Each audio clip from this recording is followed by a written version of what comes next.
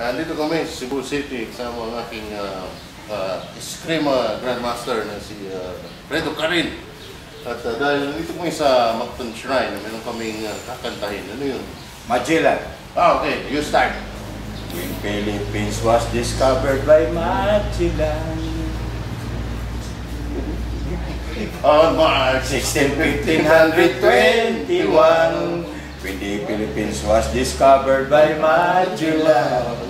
They did not understand The speaking they had done because Castilla Hid at and waray waray Then Magellan proceed to Cebu City.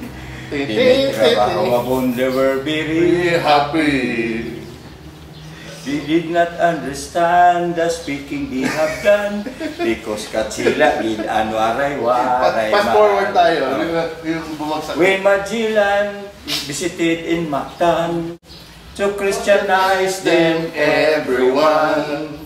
But Lapu-Lapu meet him on the shore and drive Magellan to go back home. Then the battle began at dawn.